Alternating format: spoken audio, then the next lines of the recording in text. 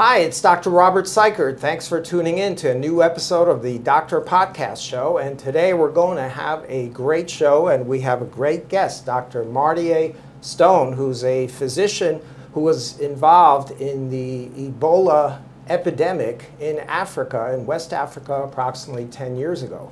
And it's uh, very timely to discuss this because, as you know, we've just gotten over the COVID pandemic worldwide. And now there's a possibility that there may be a bird flu epidemic or hopefully not a pandemic. So it's a great time to uh, discuss uh, this topic of epidemics and pandemics and viruses.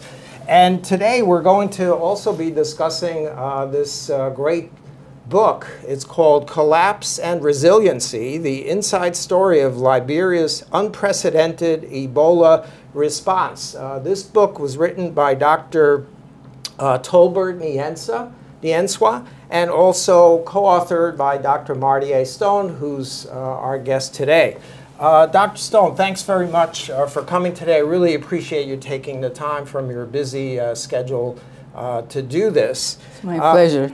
Yeah, and just to introduce Dr. Stone, she's a world Health Organization consultant, WHO consultant. Uh, she's also a senior advisor to the Massachusetts General Hospital, which is part of Harvard, the Division of Global Psychiatry. And she's also the co-author of this excellent book, uh, which I recommend highly. I actually reviewed the book before doing uh, this show to try to learn more about it, and I got very uh, involved in the book and read it and couldn't put it down. I highly recommend the book uh, for everyone. Uh, tell us about your educational background, and then we'll get into how you got involved in the Ebola epidemic in, in Africa, which also spread to other parts of the world. Yes, I had my early education, well, the early grades in Liberia, and then I went to boarding school in England and uh, went back to Liberia, finished high school, and then I came to the States to, to college. And after that, went to medical school in Boston and did training in OBGYN, first in surgery and then OBGYN. And then I, after 20 years of doing clinical practice, I went back to school to get a master's in public health at Columbia University.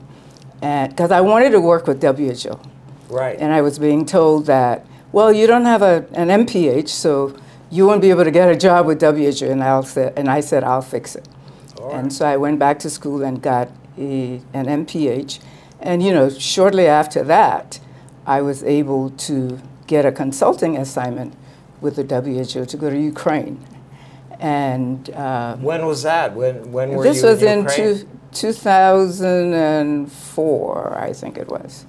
I went to Ukraine, and it was a three-month assignment. WHO in collaboration with an organization in D.C. that was funded by USAID, and so I had this assignment to actually um, do an assessment of the PMTCT program, the Prevention of Maternal to Child Transmission of HIV and AIDS, because they had a $9 million grant, Ukraine, and they wanted to see how, how well prepared the government of Ukraine was, was, and the hospitals were prepared to execute this grant. And so that's what I went there to do the assessment. And, you know, it was my first time going to Eastern Europe, and it was actually quite an amazing experience. Right, it must have been. You've been all over the world and also had uh, incredible training all over the world as well. Uh, tell us a bit about Liberia. I think people in the audience may not know exactly where Liberia is. It's in Africa. Um, and uh, tell us, uh, I'm, I'm going to actually show a map during the uh, show to demonstrate where it is. But tell us about the history of Liberia, which is very important to know. Well, the political entity that's known as Liberia was founded in 1847 by a group of American freed slaves at the time, they were known, who went back to Africa and established, you know, because they wanted to go back after the emancipation. They went back to Africa and established this political entity and called it Liberia. The land of liberty brought us here, is the slogan. So And these so- were freed American Right. slaves who went back to Africa. Right. So Liberia, but the Liberians, the indigenous people were there. You know, they had the indigenous uh, culture, the indigenous governments, the in- indigenous um, habits. Right. and so, so the, the, the, the incoming people, the new group of people that came, formed this political entity and ruled the country for most of the history of Liberia until 1980 when there was an overthrow of the government and President Tolbert was assassinated and then we mm-hmm. had the new emerging indigenous government of Samuel Doe. Right. And that's, that was the transformation, the beginning of the transformation of Liberia as it is today. That's very fascinating. When I read the book, I was fascinated by the fact that when the freed slaves from America went uh, to Liberia, they really weren't accepted too much by the indigenous people, and there was some fighting going on because there were different cultures, but eventually they, they kind of got together and uh, make things uh, work. So that was a fascinating history. Well, it was difficult in the beginning because even though people had, you know, their ancestors had been taken from Africa to, and brought to the Americas, when they returned, they es- essentially were Americans. Right. and so you know, they were foreign to the people that were there, the indigenous people that were there. And therein lied the problem. And that problem existed until the coup d'etat of, you know, of 1980. Because what happened then, the Americo-Liberians, as they became known, ruled the country. They ruled the government, they ruled every institution in the country. And in order to attend school, people who were born to indigenous parents had to literally live with one of the settlers, uh, that they, they called them then the settler community, in order to have an education. And so in 1980, when there was this coup d'etat and the indigenous government took over, you know, we began to have a lot of dissension amongst the two groups. Right. There were a couple of civil wars I read also in the book. Uh, yeah. A lot of people unfortunately uh, died during that struggle. So tell us about the origins of the Ebola virus. The Ebola virus is a very deadly virus. Uh, it has about a 80 to 90 percent mortality rate uh, if it's not treated.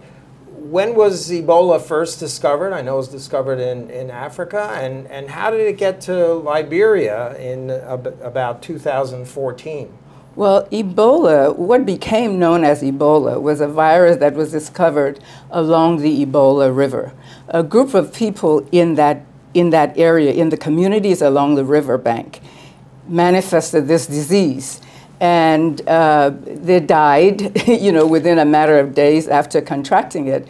And so there was a, a scientist, epidemiologist, Dr. Muyembe, a, a Congolese doctor, who sent the samples to Belgium. It, at that time, Zaire was part of the, it was the Belgium, Belgian Congo. Right. And so they sent the samples to Belgium to be evaluated. To, and and, and uh, Peter Piot, you've heard of him, he's now, he, I think he's still at the, the London School of Tropical Medicine and Hygiene.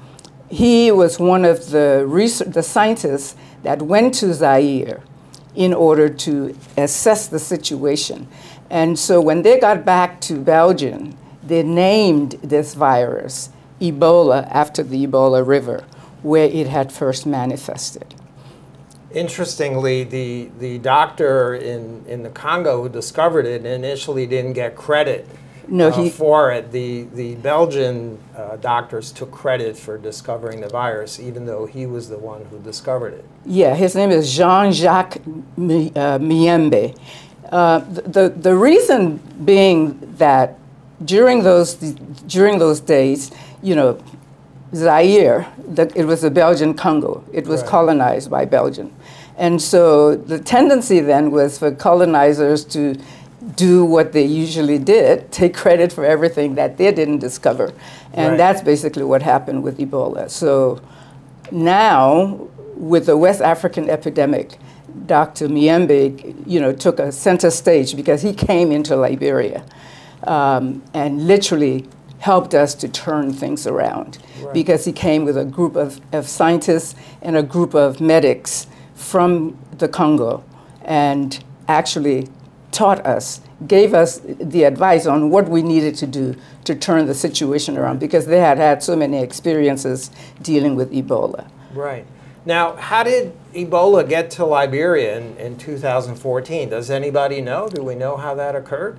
Well, it, actually, Ebola got to Liberia from the, the Guinea that Liberia shares with, with, from the border that Liberia shares with Guinea. Apparently, there was a young boy who contracted Ebola in Guinea, and within a matter of days, he and his whole household were dead. Mm. You know, and that's how it started in Guinea. So that whole area got infected. But because Liberia shares a border with Guinea, and the way the way the situation works in, in Africa, the bo- the borders are very porous because you have families that live on both sides of the border. When the um, colonizers went to went to Africa and divided up these different country these different countries, they were really one big uh, community. And so when they made the political boundaries, you have family members of, of clans of one group lived on one side, and right. the other group lived on the other side. So they sort of walked across through little pathways from one country right. to the other. So this virus seems to pop up every few years or decades in, in different locations. Uh, well, it, it, this was the first in 2014 when it came to Liberia and then West Africa. This was the first time that it had actually manifested in West Africa. Right. In, the, in that magnitude. Right. And then it was also in Sierra Leone, which also borders uh, Liberia yeah. and, and Guinea as well. Yeah, so you have what they call countries. Yeah, you have what they call the Mano River Basin.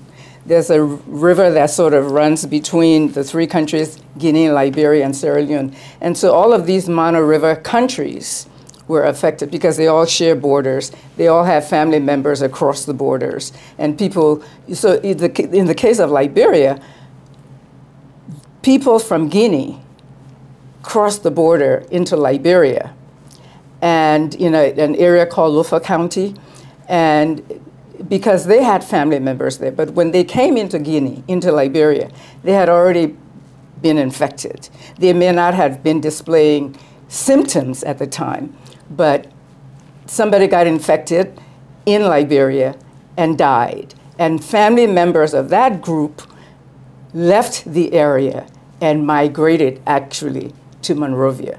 And that's how Ebola began to spread from the border in Liberia shares with Guinea into Monrovia. And Monrovia is the capital of Liberia, right? Monrovia is the capital of Liberia. A million people living there, from what I read. A little over uh, a million people live in Monrovia.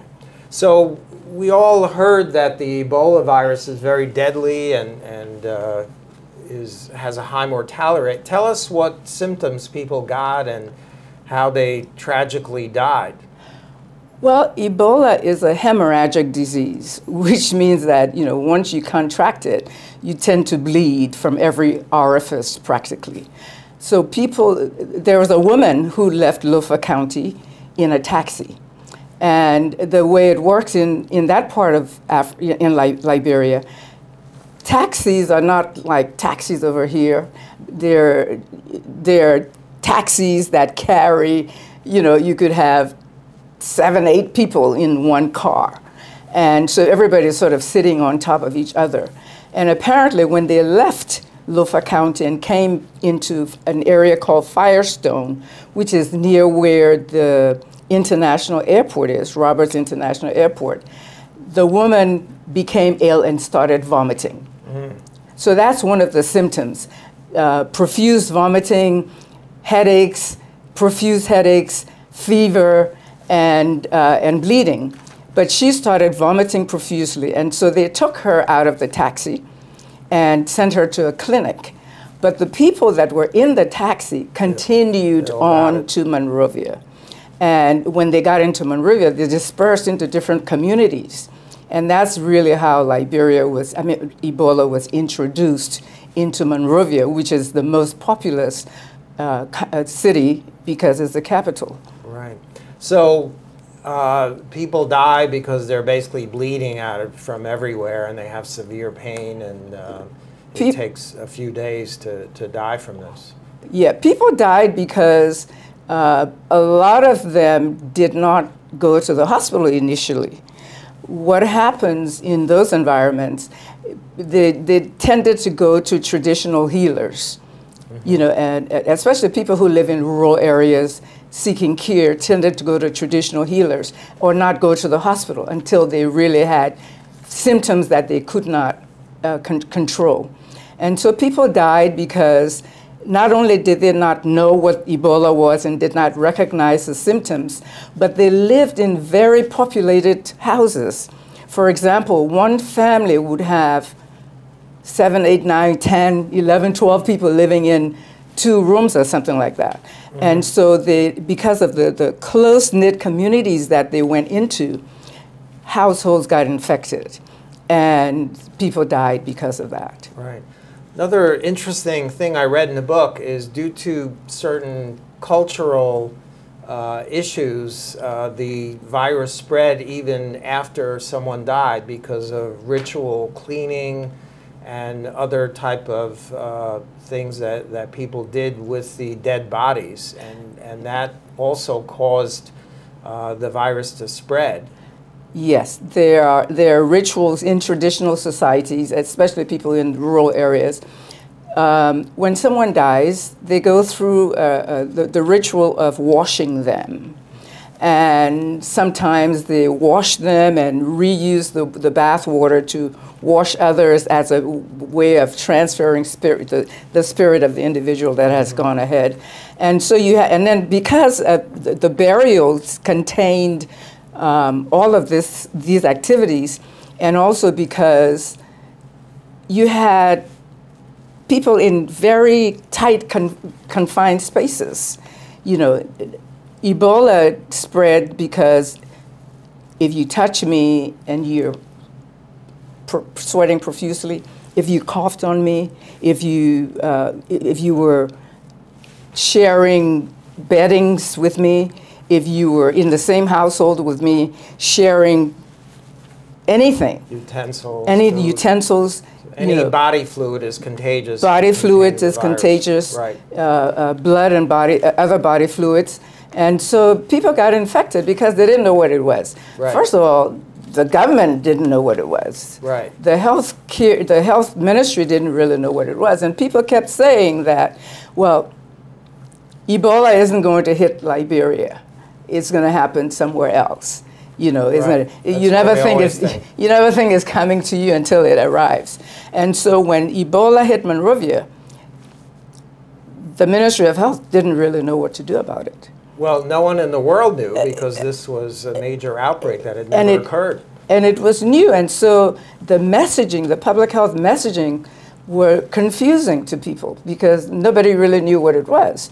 And you're, and so when they finally began to figure out that people should not live in these, uh, should not be in these close confinements, and shouldn't share beds, and shouldn't, you know, shouldn't come in close proximity to each other, where they could come in contact with bodily fluids. Um, people were saying, well, we cannot even shake hands, which is one of the traditions in Liberia. We cannot touch, we, can, we cannot hug, we cannot do anything that is hum, our human interactions. And so people re- resisted the public health messages. And, and, and a lot of the messages were given to an indigenous body of people who may not have understood English very well or had understood what was being trans- uh, communicated to them. And so they just went along doing what they usually did Tradition and culture. tradition and culture. And the messages were not in la- a language that they really clearly understood. And so we found that you had to change the public health messages to make it more sensitive, to take the culture into, into consideration, all the nuances of the culture into consideration, in order for the people to listen. Right. And that was one of the most difficult things, getting people to stop doing what they usually do in the name of the culture, especially when it came to burying the dead. Right. So they started hiding people who were sick. They mm-hmm. started hiding people who were sick, and when they found many members of the household were getting infected, they actually started throwing people, sick people outside in the street. Right, and I so, read that in the book. Yeah, and so some people died in the streets, and you had the stench in the air, and like you know, in Monrovia, because dead bodies were left in the, and the, the, the government didn't have the capacity to remove all of these corpses. Right. You know, so Safely. you had safe, safely remove all right. the cor corpses, and not even the, the equipment to to remove them, you know, save or unsafe. But until they they found out how to do it properly, they, uh, it, it, was very difficult. It was right. a very difficult thing. And, and that's, that's where Dr. Nyenswah, the author of the book, uh, and your co-author comes in. And there's a couple of really interesting chapters in the book, uh, almost like a love story. It tells how Dr. Nyenswah grew up, uh, what his childhood was like, how he met his wife, and how he uh, then got involved in helping get rid of Ebola. So tell us how Dr. Nyenswah got involved and how he convinced the people in Liberia to follow his instructions and directions. Well, he was he, he had actually come home from Johns Hopkins where he did his MPH. And he had been working with the Ministry of Health and had received a scholarship to go to Johns Hopkins to do his public health degree. And about uh, while he was graduating, he was promoted because his boss, who was the assistant minister of health for prevention, was retiring. And so she recommended him to take her place. So when he came back to Liberia, he was uh, promoted to the, being assistant minister of health for preventive services and also deputy chief medical officer in that, in that role.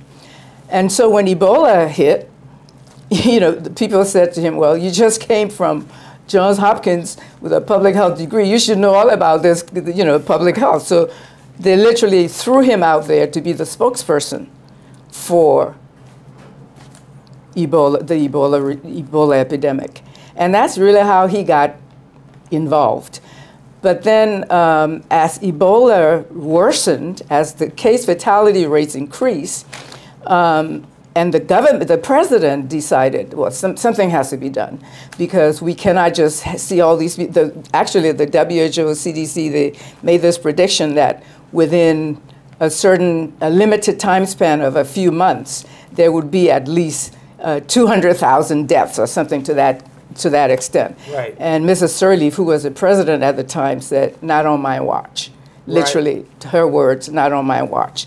And so she wanted to have somebody who would be the focus, who would literally lead the response and not have any other responsibility. Because the Minister of Health had to deal with the, the administrative aspects of the ministry as well as the public health aspects.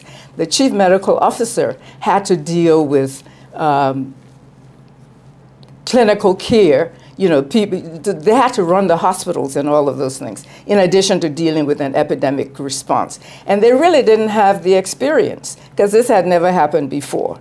Right. And so Mrs. Sirleaf was advised uh, that you needed somebody, I think by the CDC, the WHO, you needed somebody to just make this their focus and have no other responsibility.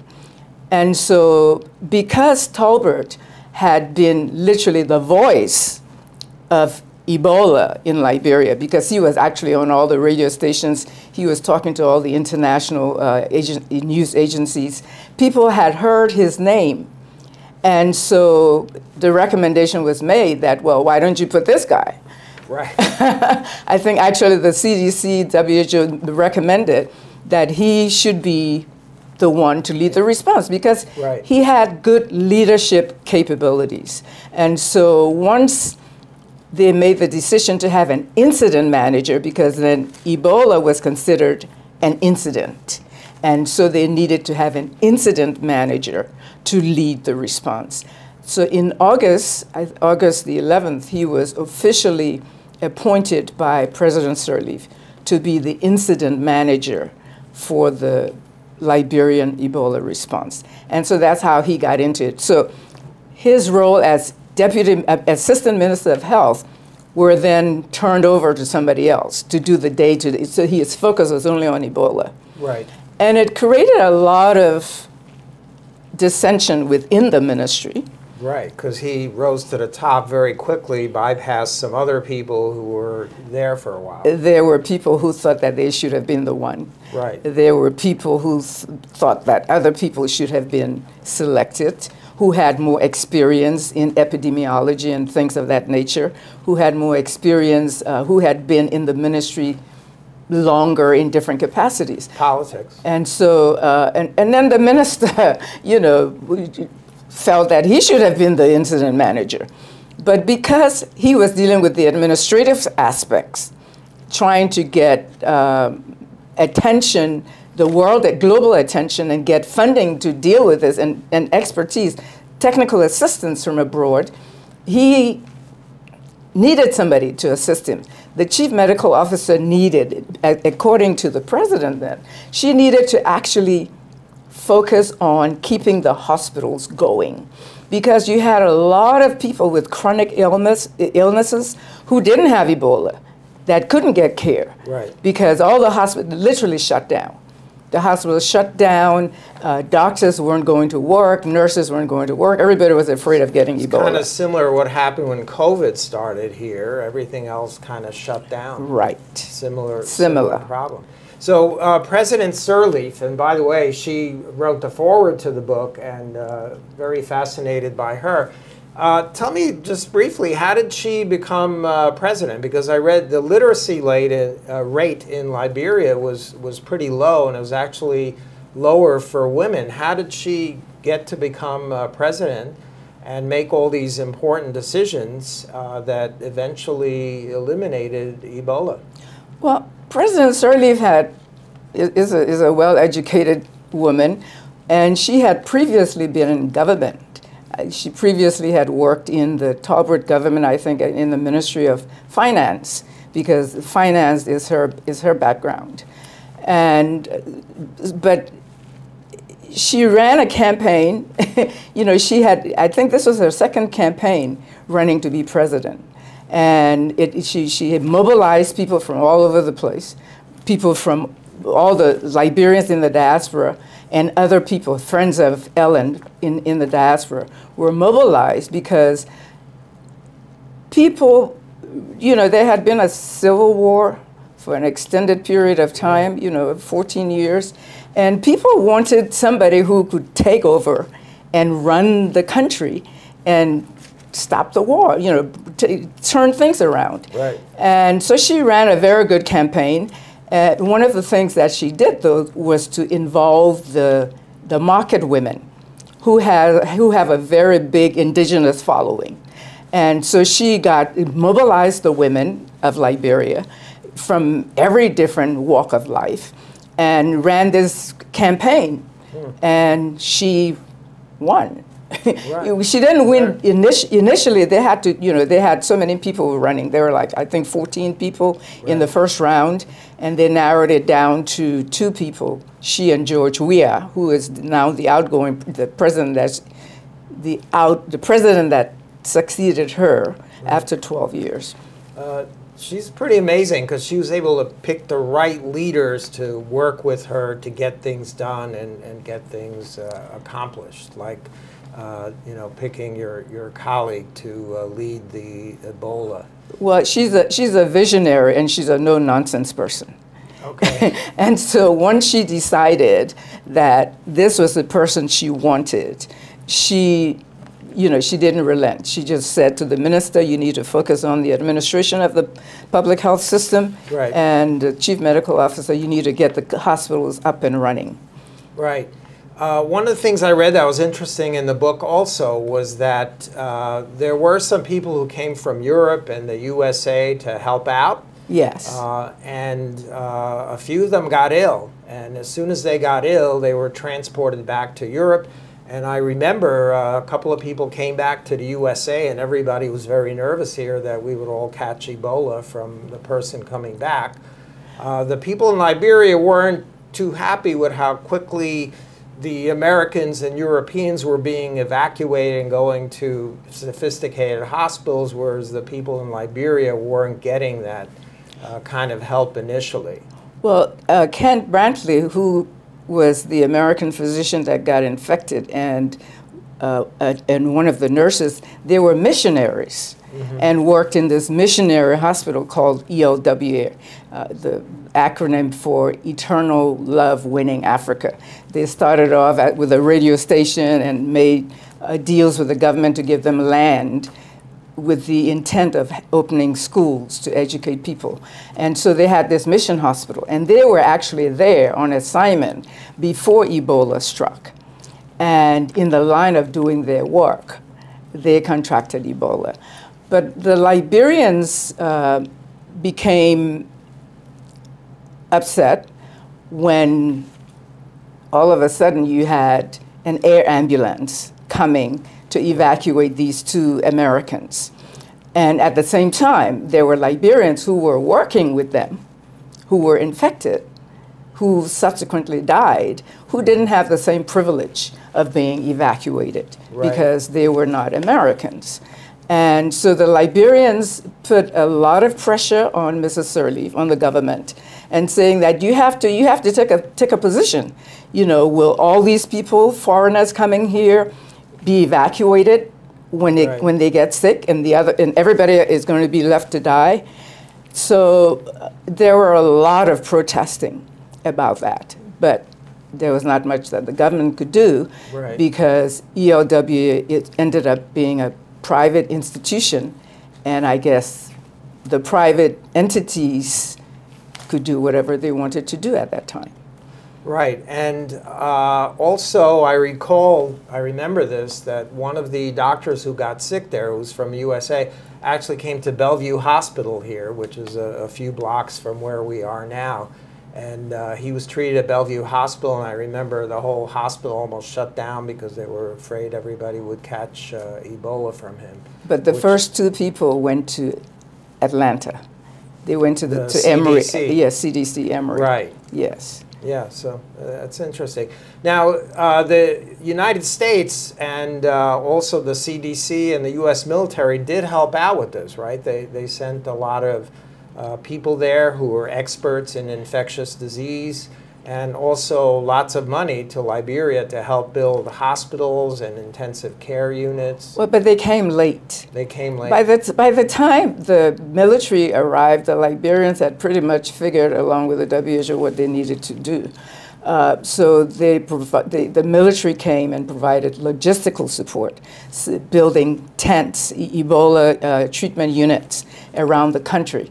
Uh, but President Obama was approached by uh, the ambassador, De ambassador then, Mrs. Uh, Deborah Malac. She was the ambassador, U.S. ambassador to Liberia.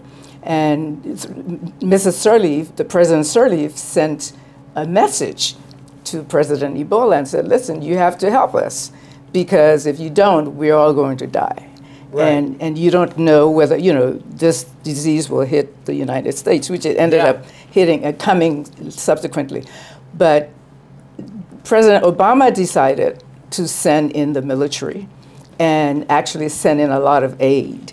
So the military came and built up all these Ebola treatment units. But, but all credit must be given, though, to MSS, MSF, Médecins Sans Frontières, uh, uh, Belgium they were the first that came and set up. That's the Doctors Without Borders. The Doctors right? Without Borders mm-hmm. that set up the biggest treatment unit, Ebola treatment unit in like in Monrovia.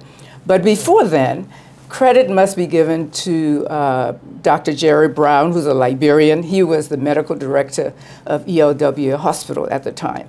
So what he did, he turned the, the chapel into an Ebola treatment unit because that was the only place he could put, isolate people. And what happened was they started sending, being selective about who would go into that unit. And so the people, the, the Liberians who worked with him, became enraged. And they said, You're catering to all the foreigners. So, you know, if, if, if we get Ebola, we're coming to your house and we're going to infect, infect you and all really? your whole family. Wow. And so, what Dr. Brown did was to set up the, uh, the laundry facility as an Ebola treatment unit. And so that became the first e Ebola treatment unit before Médecins Sans Frontières set up the larger Ebola treatment unit in Monrovia. So Europe was very helpful. How about the UN and the WHO? Well, the WHO is the technical partner in health is, is a technical partner for Liberia for a number of years. So when, when the Ebola epidemic hit Monrovia, well, they, WHO in Guinea and, and WHO in uh, Sierra Leone had already been dealing with it. So when Ebola hit Monrovia, WHO Liberia worked with the government, with the minute, because they, they have to work with the Ministry of Health. They worked with the Ministry of Health to set up some kind of response mechanism. And then the CDC came in. Uh, and, and so with the WHO, the US CDC worked together to set up some kind of modality on how this response could be effective. But a lot of, it was a lot of trial and error in the beginning. Right, because, because no nobody did. really knew what to, what to do. And then the, the situation of handling dead bodies you know, because when they, once they set up the treatment units, people began to flock there, right. and there was not enough space. You didn't have the capacity to treat all these people, and so um, they were camping outside mm. the, the, the, the, the tents, waiting for a bed, kind of thing, you know, and and so. CDC provided a lot of technical support along with the WHO and other agencies, the European Union, uh, the Chinese came. Right, I read that was very interesting. China came and helped also. They had a, a whole Ebola treatment unit. They, they, they, came with the first major supply of, of drugs and, uh, not drugs, of, of, of Ebola equipment and um, brought in their army, that, you know, to set up a tent to take care of these people. Another interesting thing in the book is there was a lot of uh, misinformation, myths, and corruption that were in the way of this uh, along the way. I guess that happens all the time. But how did uh, you deal with that? Now, you, you became uh, Dr. Nyenswah's main technical advisor. Tell us how that occurred. Well, I had worked with Tolbert, uh, well, back in 2008, 2009, I was on another assignment with, with, with um, Columbia University through U the UNDP, United, United Nations Development Program in Liberia. And he was then the deputy manager for the Ebola control, uh, the, Ebola, I mean, not the Ebola, Ebola, the, the malaria control. Oh, okay. Uh, the malaria control uh, program. He was the, the deputy program manager. And they had actually, my role was to get them to do BedNet distributions, help them raise funds and all that kind of thing. And that's how I met him. And we worked together. They had a global fund grant that they had lost because of certain technicalities.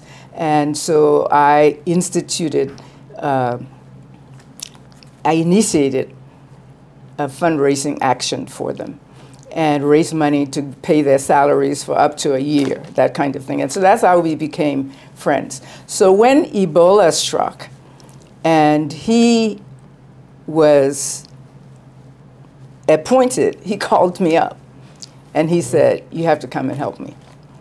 And I'm like, To do what? I'm not an Ebola expert. Right. he said, but you're the only one I trust.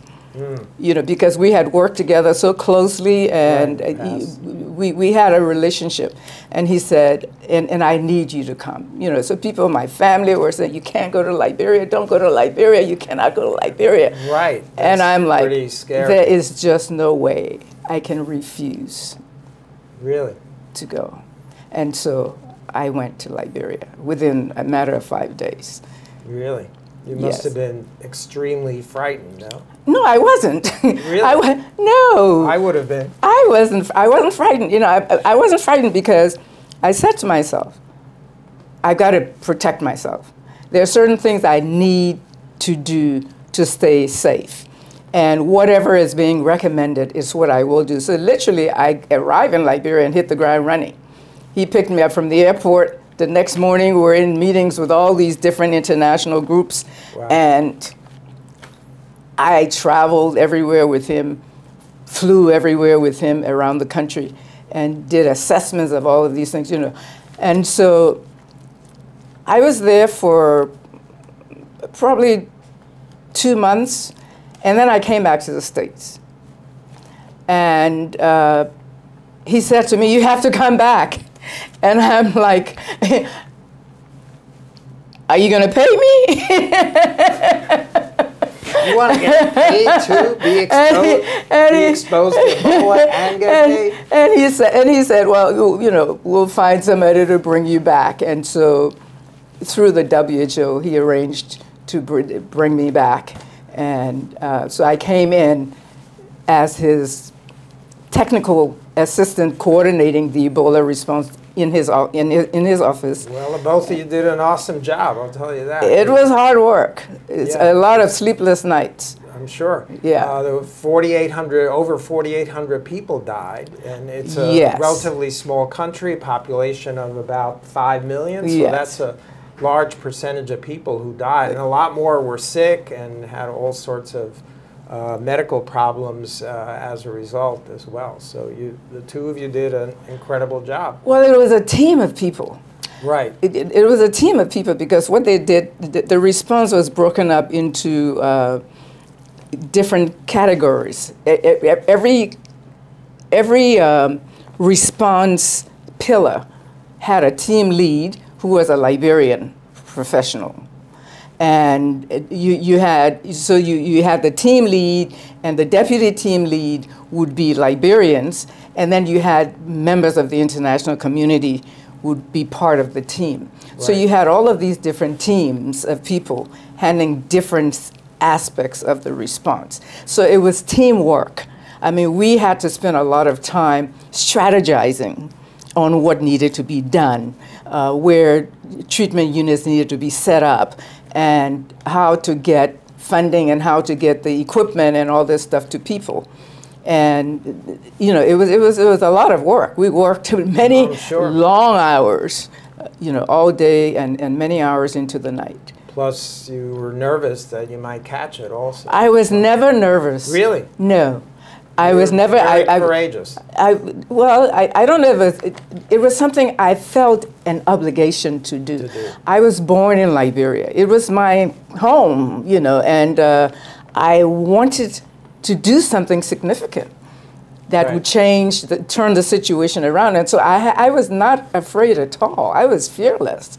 Wow. I just did everything I needed to do. I mean, I took off my shoes at the door. I washed my sh- the bottom of my shoes. I did everything I was supposed to do to keep myself safe.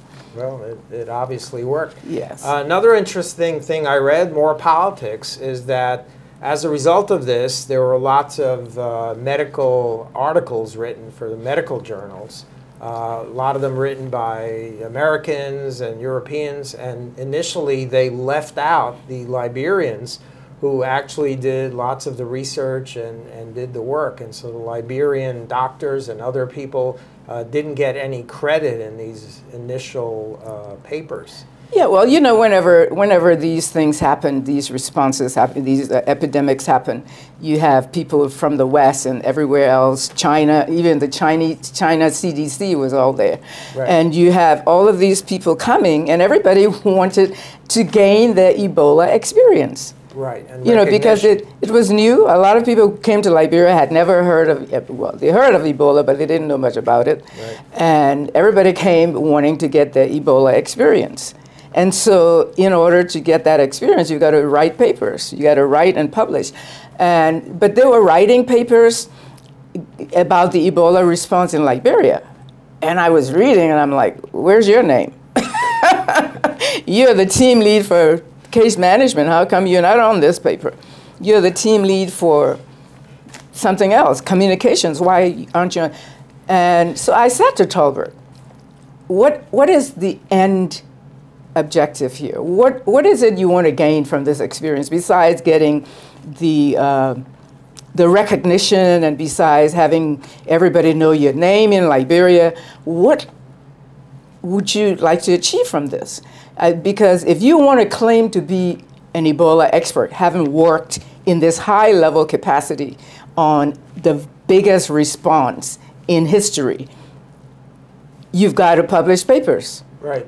You have to have your name on the papers. And so, you know, he talked to people at the CDC and other people, and they were saying, well, you know, these young kids come here, they've got to publish papers. And so everybody wanted first, second, and third authorship. And I told him, I said, no. As your advisor, you cannot have people writing papers about a response that you're in charge of as incident manager. Right. And your name isn't on any of them. None of your team members who are Liberians have their names on it. So we came up with this strategy that every paper that came out of Liberia had to be approved by him, the incident manager. And in many instances, we had to see a draft of that paper.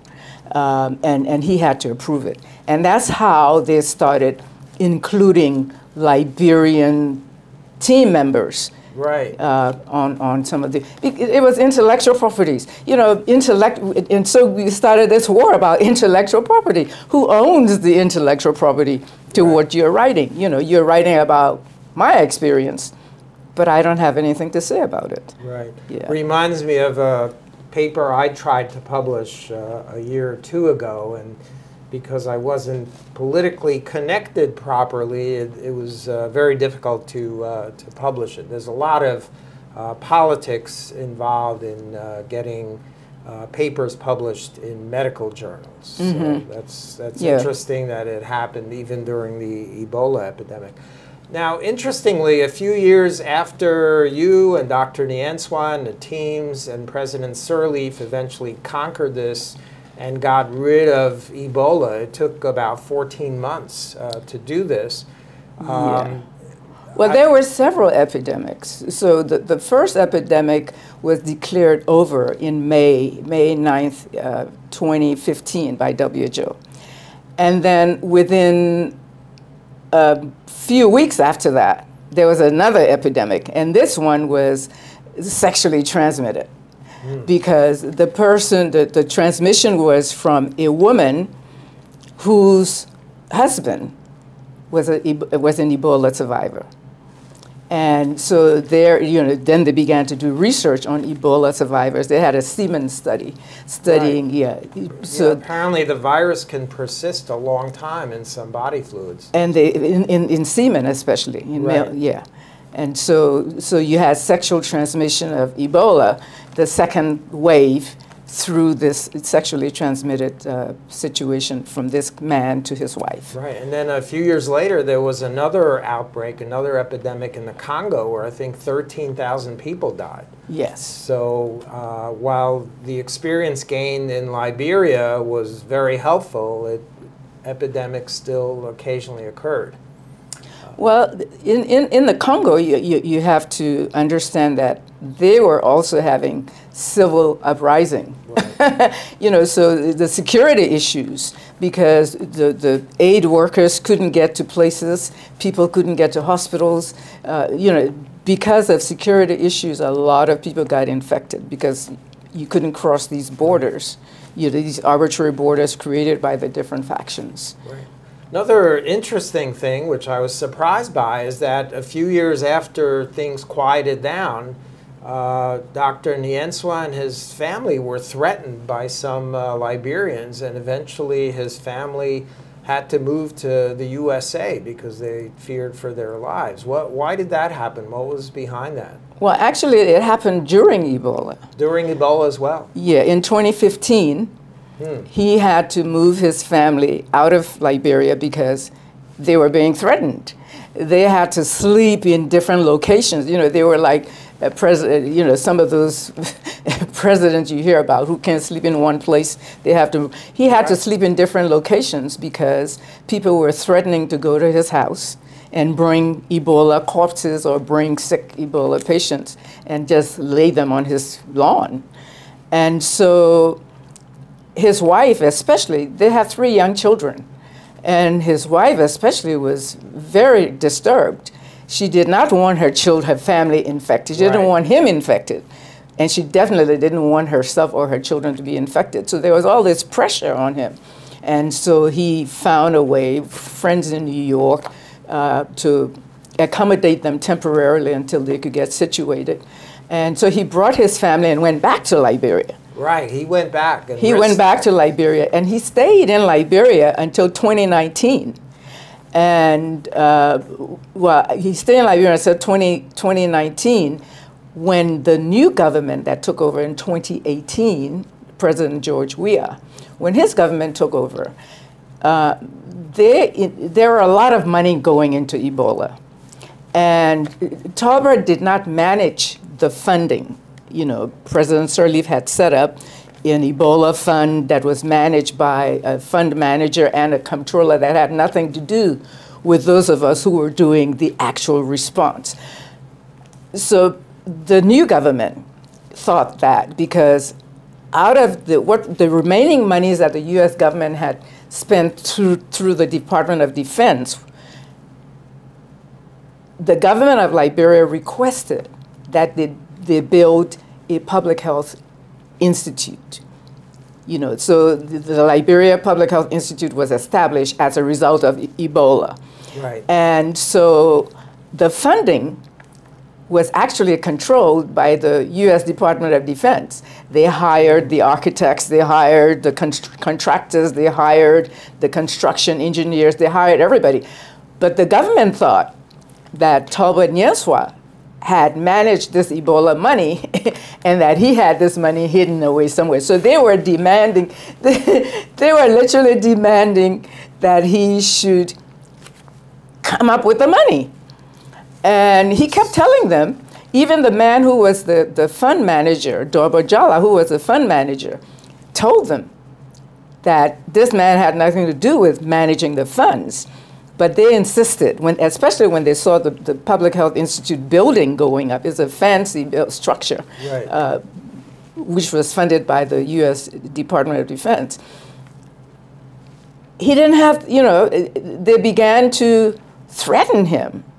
And so he, he, he's a man who really gets around. So he had friends in all, all little, all places right. in, in Liberia. And somebody told him, listen, these guys are coming for you. So he literally fled the country hmm. by leaving town, going home, packing his stuff, getting essential things, going to the airport, and getting the first flight out. And the first flight out was going to the Ivory Coast. and that's how he got out, and then called me uh, because he didn't even want to call his wife because they would be tracking him. And so that's when he called me and said, listen, this is a situation, and I'm in the Ivory Coast, and I'm going to find my way to the States. And that's how he got out of Liberia. So once he left, they issued a warrant for his arrest. Really? And, uh, you know, and it, it, just got to be very complicated. This, this could be a nice uh, movie, I think. Yeah, they issued a warrant for his arrest. And uh, anyway, long and short of the story, uh, he ended up having to get a lawyer, go to court, do all this kind of. He didn't go to Liberia, but he had lawyers representing him. Wow. And so, so not only did he almost die from the virus, but also the repercussions of what happened after almost killed him he, as well. Yes, and he, he felt that if he had gone back, he would have been arrested and he may have been killed. Really? Yes. Interestingly, he mentions in the book a few times that his father, when he was a little kid, told, his father told him, "You're one day going to lead Liberia and uh, become very important in Liberia's future," and, and that happened. Uh, had his father known what happened after that, he would be pretty upset, I think. Yeah, his father died before all this happened. Before this, yeah. Yes. But his father predicted that he would one Yes. day lead Liberia. Yes. Um, so I think that was that was um, one of the principal reasons why he felt obligated to take on the assignment and do well by that him. motivated him Right, and that was a- inspired him to yes. do this. Yeah. That, that's a, a great story. I think it would make a, a great movie. I understand there's there's now an Ebola vaccine. It's not available for everybody, but for people who are exposed or at high risk of exposure. Well, there, there, there are two Ebola vaccines. uh, There are several. Let, me- just clarify. There are two, uh, one out of China and one that is the, Feder- the Russian Federation that is used for emergency, uh, for emergency use. And then you have the European Union had approved the J&J vaccine. So that is what they were using, you know, uh, as their first vaccine when the- Right. the, the Europeans, the British were all being vaccinated with the J&J vaccine. Do they work these vaccines? Well, there are several studies that have shown that there's a 70 to 100 percent uh, success rate With the vaccine. so with the vaccine. The CDC website mentions that the Merck vaccine apparently is, is the best one, but it's only it's not used for the general population. It's used for high risk exposure people. Yeah, because these things are still investigational. Right. So they're two investigational uh, drugs that are being used, and Merck is one of them. Hmm. That's interesting. Um, I know this this book, great book by the way. Again, uh, was published with uh, Johns Hopkins University Press. Tell us how you got involved with them and how Dr. Nyenswah got involved with uh, Johns Hopkins. Well, um, David Peters, who was the in the chair of the Department of International Health at Johns Hopkins during the Ebola response in Liberia, came to Liberia because Tolbert had gotten his MPH in international health at Johns Hopkins, and so he invited uh, uh, Dr. Peters to come to Liberia, and so through that relationship, when Tolbert uh, finally, when well, actually, everybody was coming to Liberia to write a book about Ebola. Right. Okay. Right. And I remember this particular day. I was sitting in in uh, in, in in Tolbert's office, in his uh, uh, waiting room with some some of his staff, and this guy walks in. He he used to work with with UNICEF at the time, and he says to me, "What are you doing here, Mardia?" You know, and I'm I'm working. He says, "I'm sure." I'm like, what do you mean you're sure? You know, he didn't realize that I was already there. I, was already working. Had- WHO had already brought me there, and I already already was advisor to Mr. Nyenswah. So I was rightfully in that room, but he didn't know that I already knew that he had an appointment to discuss writing a book hmm. on the Ebola response. So I said to him, I said, this is a book that you should be writing. You said that to Tolbert. Yes. Yeah. I said, Right. He was in no, charge. nobody should be writing this book. And because everybody's going to tell it from a European, American, or from a, an epidemiological perspective. Right. But you want to tell the story, you want to narrate the story of what happened. Right. He was right there in the middle of it. you know, and, and how you how you became prepared for this role, and you need to tell that story. I said, so if you give other people the permission to write the book, and if you start telling them what you want to put in the book, then you won't have a book to write, and you Right. won't have a book to sell. And so he listened to me. You know, what I have discovered in life is that sometimes people give you advice and you take it or you don't take it. Right. But Tolbert really respected my role because I was very honest with him in most in, in, in all instances practically. And so he would listen to my advice. Right. And, and so, you know, he declined having this guy published. Somebody else came and he declined. Right. Everybody and, wanted. And so I said to him, You're connected to Johns Hopkins. Why don't we submit a proposal? So we went to Johns Hopkins website, we got the thing and submitted a proposal. And we sent them the first, what would have been our first five chapters, which didn't end up in the book. You know, a lot of it didn't end up in the book. But, um, and they found it interesting. And so the editor we worked with, Robin Coleman, mm-hmm. um, asked us to do a revision of the proposal. And some of the reviewers, because they sent it to so many reviewers, and some of the reviewers, we had written just one chapter about Tolbert's life and his family, how he was prepared and this and that. And they said, we want to know more of this story. We want to know more about this man. And so that's why in the book you, you see is interspiced between chapters, right. something about his life. Yeah, that was great. I really enjoyed yeah. that. And so, um, so once we did that, you know, Robin said, we'll publish the book. Wow, that's and great. so they gave a contract, and uh, we did the first draft. And by that time, he was in the States. We were both in the States. And, uh, you know, we worked together to do it in different locations. and sometimes we. So would who's going to play you and Tolbert in the, in the Netflix in the Netflix movie Netflix that, that's coming out about collapse Yeah. and resiliency? I, I see. it. That's funny. I, I'm serious. I think it's a it's a great book, incredible story. Uh, everybody should know about it. And, Well, thank you. uh, Yeah, and I think that uh, this would make a great movie. Uh, so you should contact the Netflix people. They're interested in things like that. Well, you know, when, when we set out to write this book, you know, my thing is whenever I start doing something is like, what is the end use of this? Right. And uh, what did we want to achieve with this book? We wanted to write it so that anybody could read it. So it's not highly technical. We, you know, we, we, did, we don't talk much about the epidemiology because every, everybody practically knows that. We talk a little bit about those technical aspects of Ebola, but we wanted to tell a story of how Ebola came to Liberia and what happened the politics of it, the confusion in the government, the infighting in the government, the infighting amongst different ministries, the infighting, corruption, the, the, the Great movie.